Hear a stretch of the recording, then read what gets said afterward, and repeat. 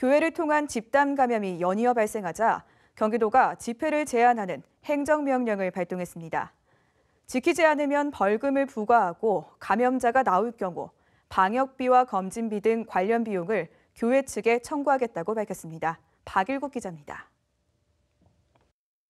교회 예배 과정에 집단 감염되는 사례가 발생하면서 도내 관련 확진자가 80명에 육박하고 있습니다.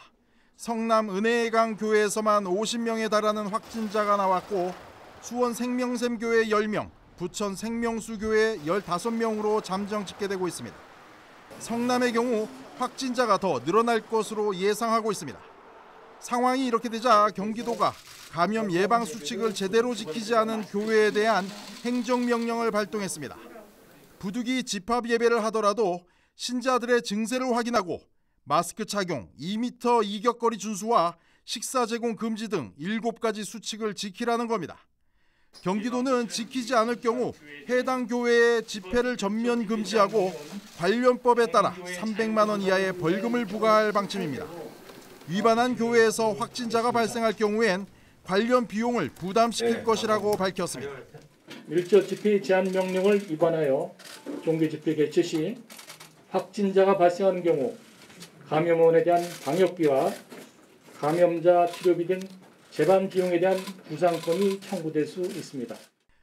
경기도는 지난 9일 도민 1,100명을 대상으로 여론조사를 실시한 결과 응답자의 95%가 종교 집회 자제에 찬성했고 최근 종교 집회에 참여한 경험이 있는 종교인은 천주교 1%, 불교 2%, 개신교는 13%로 상대적으로 높은 것으로 나타났습니다.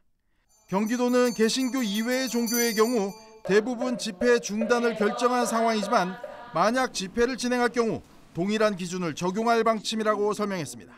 나머지 교회에 대해서는 지금 현재 이 코로나19가 잠잠해질 때까지는 집합 예배를 하지 않는 것으로 그렇게 협의를 해줬습니다. 감염병이 확산될 우려가 있거나 실제 그랬을 경우에는 마찬가지로 저희가 행정명령 할 계획입니다. 경기도는 소규모 모임 형태의 종교 행사도 행정명령에 포함된다며 오는 주말부터 교회들에 대한 실태 조사를 진행할 예정이라고 밝혔습니다. 티브로드 뉴스 박일국입니다.